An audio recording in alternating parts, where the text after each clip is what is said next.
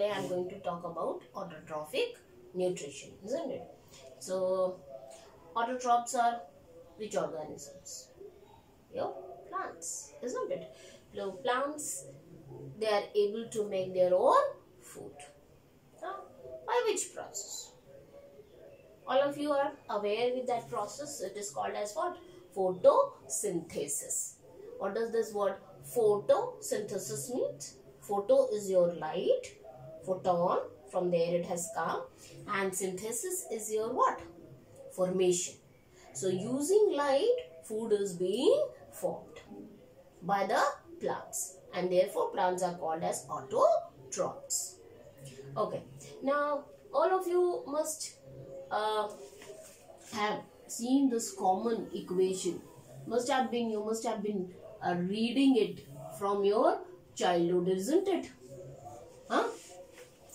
That using carbon dioxide, water, na, plants they form their food, isn't it?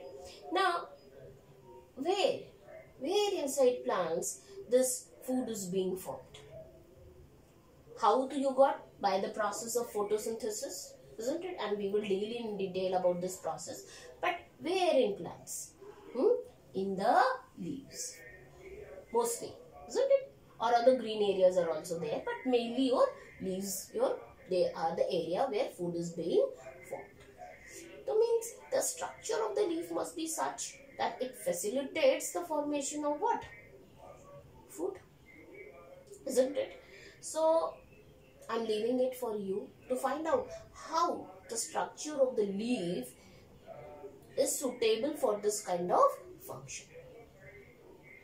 Okay, in the class we can talk it and discuss it.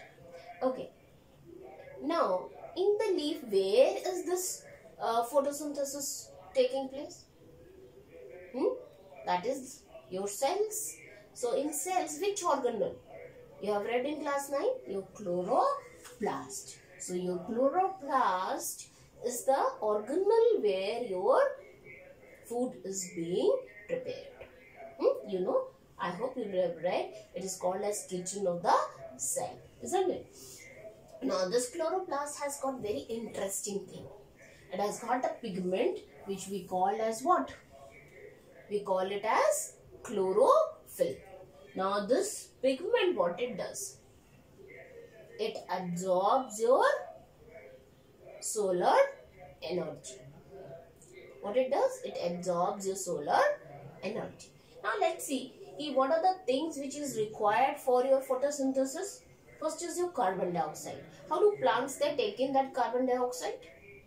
Hmm? All of you must have read earlier that plants have got small structures which we called as what? Stomata. Stomata is what? It's a structure in the leaf, a minute openings, isn't it? Through which what happens? Exchange of gases takes place. So through stomata, carbon dioxide enters inside the leaf and it goes to the cell. That's uh, and then it enters into the chloroplast. That's how CO2 is. Uh, they are getting in. What about water? So you know that you have read in class 9 that plants they have got a conducting tissue, isn't it?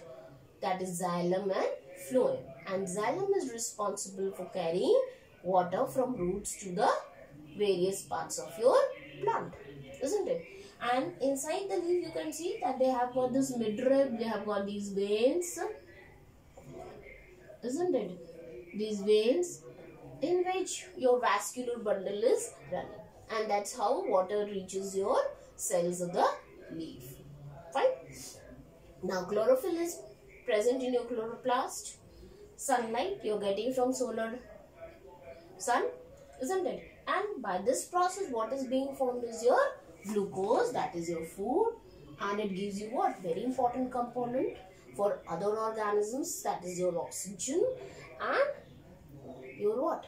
Water in this process. Fine. Now let's see. Key, what are the major events? Okay, that is happening during photosynthesis. First of the thing we have dealt is that absorption of light by chlorophyll. That is light is absorbed by your chlorophyll. Now, by this absorption of light, what is happening? See, there are various molecules in the chloroplast which will convert this absorbed energy, light energy into what?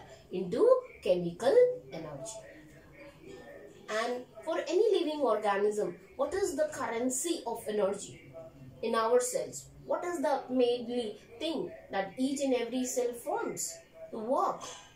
That is your energy currency of the cell is what? ATP. That is called as adenosine triphosphate. Isn't it? So by this in the chloroplast what is happening? Your light energy is getting converted into ATP.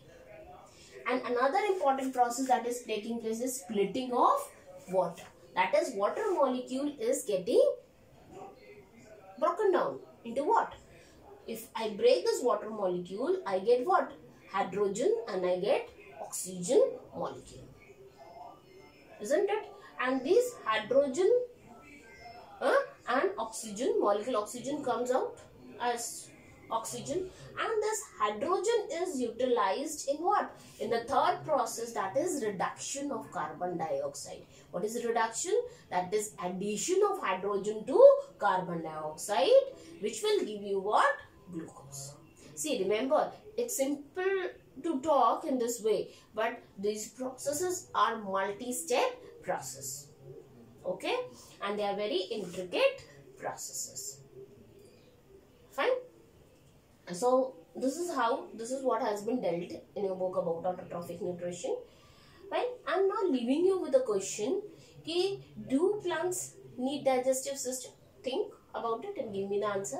And another question which i asked you and i begin my lecture that is how the structure of the leaf suits its function. Fine thank you